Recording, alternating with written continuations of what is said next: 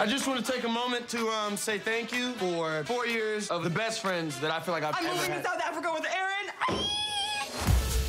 It's a fresh start. Fresh starts. You, me, and Anti-Muse are moving to New York. Unless New York moved itself to Johannesburg, I have a big problem. Oh, my sweet God. Are you serious right now? I'm sick of hurting people. Refuse to do it again. Grown-ish, new episode next Thursday at 10 on Freeform and stream on Hulu.